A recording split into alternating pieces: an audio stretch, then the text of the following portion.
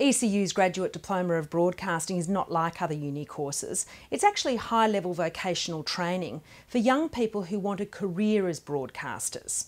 All the lecturers and tutors are practicing broadcasters, so we know what we're talking about.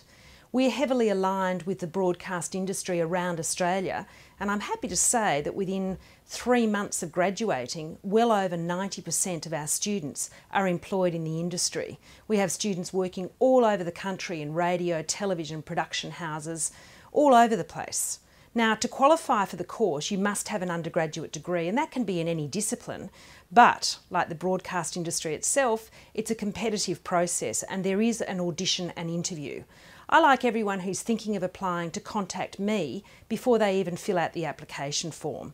So if broadcasting's where you want to go with your career, you couldn't find a better place to learn the craft. I look forward to hearing from you.